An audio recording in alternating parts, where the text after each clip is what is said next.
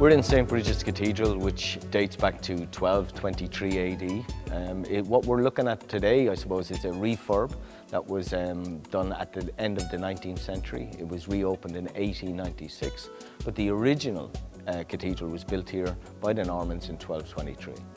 So they come to Kildare essentially because it's still a very important religious foundation, a religious foundation which dates back to the late uh, 5th century when a lady called Brigid arrives in Kildare, who is the patroness or the female saint of Ireland.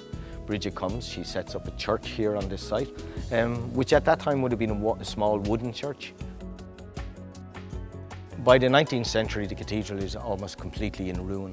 Where the altar stands today, that was the only part of the, the church that was usable, and it had this tiny little kind of pro-cathedral added onto there, which was used for normal service. The rest of the cathedral was in complete uh, and utter ruin.